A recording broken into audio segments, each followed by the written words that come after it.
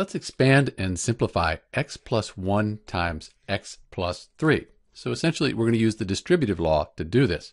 Some people use the FOIL law. That's kind of helpful way to remember what we're doing here. So we're going to take the first terms. These are the first terms, x times x. That'll give us x squared.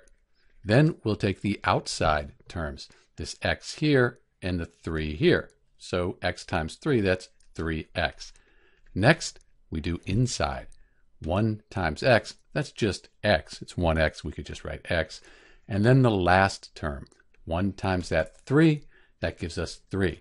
We can combine the 3x and the x, that'll give us 4x, and we end up with x squared plus 4x plus 3. So this is the expanded and simplified form of x plus 1 times x plus 3. This is Dr. B, and thanks for watching.